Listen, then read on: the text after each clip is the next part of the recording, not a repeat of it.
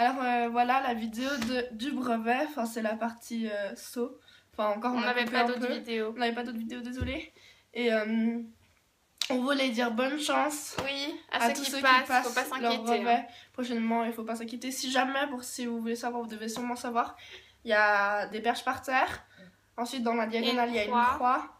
Ensuite, euh, vous Un faites une volte et un auxerre. Voilà, c'est tout simple. C'est tout simple, il n'y a pas à s'inquiéter. Donc, euh, nous, on stressait, mais en fait, euh, Et même la théorie, simple. ne se presse pas de questions. Donc voilà. Il faut pas non plus. euh, Bonne chance et puis à bientôt pour une vidéo. Ciao, bisous